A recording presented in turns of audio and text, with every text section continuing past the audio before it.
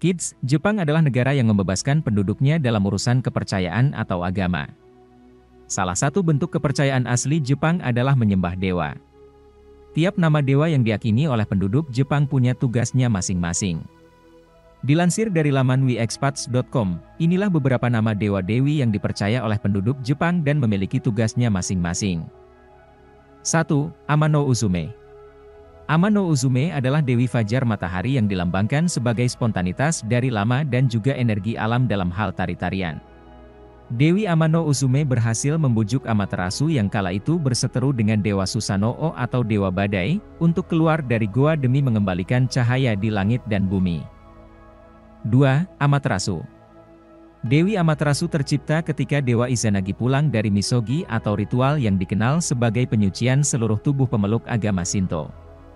Ketika itu, Dewa Izanagi membasuh mata kiri dan tetesannya itulah yang menciptakan Dewi Amaterasu Omikami. 3. Ebisu Dewa ini merupakan putra sulung Dewa Izanagi dan Dewi Izanami yang dilahirkan tanpa tulang dan di usia tiga tahun dihanyutkan ke sungai. Dewa Ebisu berhasil selamat dan dirawat oleh penduduk asli dan menjadi salah satu dari tujuh dewa keberuntungan. 4. Hachiman bagi pemeluk agama Shinto, Dewa Hachiman adalah dewa pejuang samurai. Selain itu, dewa ini juga dianggap sebagai dewa kebahagiaan, pertanian, dan dewa perdamaian. Dewa ini dilambangkan dengan merpati putih, dan penganut kepercayaannya, diberi gelar sebagai dewa yang melindungi kehidupan manusia. 5. Inari Dewa Inari adalah dewa kesuburan, dewa beras, dewa pertanian, dewa industri dan dewa kesuksesan. Beberapa orang menggambarkan sosoknya sebagai dewa tapi ada juga yang menggambarkannya sebagai dewi. Sosok dewa atau Dewi Inari termasuk yang paling populer dengan 32.000 tempat perlindungan yang dibuat untuknya. 6. Inugami Dewa Inugami berbentuk anjing dan jadi salah satu dewa keberuntungan dan kesuksesan. Namun, cerita penciptaannya tidak terlalu beruntung, karena berkaitan dengan anjing yang disiksa dan mati lalu bereinkarnasi menjadi Inugami. 7. Izanagi Dewa Izanagi disebut sebagai lelaki pertama dan disebut bertugas menciptakan Jepang.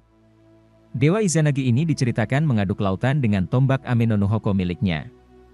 Pulau pertama yang diciptakan Dewa Izanagi adalah Pulau Onogoro yang dipercaya sebagai orang tua para dewa dan Dewi Sinto lainnya. 8. Izanami Dewi Izanami adalah istri dari Dewa Izanagi yang bertugas dalam proses penciptaan Jepang dan menaji ibu bagi dewa-dewi lainnya. Namun, Dewi Izanami wafat ketika melahirkan putranya, Dewa Api. Dewa Izanagi awalnya turun ke dunia orang mati untuk membawa Dewi Izanami. Namun, Dewa Izanagi membatalkan niatnya dan menyegel dunia bawah. Dari sinilah asal-muasal Dewi Izanami sebagai Dewi orang mati. 9. Kagut Suci Dewa Kagut Suci adalah putra kedua Dewa Izanagi dan Dewi Izanami. Dewa Kagut Suci adalah dewa api yang ketika kelahirannya sang ibu harus wafat. Akibat peristiwa ini, Dewa Izanagi sangat murka dan memotong Dewa Kagut Suci menjadi delapan bagian. Potongan tubuh Dewa Kagut Suci inilah yang dipercaya jadi gunung berapi yang ada di Jepang. Dari darah Dewa Kagut Suci juga lahir Dewa Dewi Sinto lainnya. 10. Namazu Dewa Namazu sering digambarkan sebagai ikan lele besar yang menghuni bumi. Dewa Namazu bertugas menggerakkan bumi, gempa bumi, dan tsunami. Konon Dewa Namazu dijaga oleh Dewa Takemika Suhi, Dewa Petir dan Pedang, supaya tidak bergerak dan tidak menyebabkan gempa bumi. Nah kids, itulah tadi 10 dewa-dewi dalam kepercayaan orang Jepang.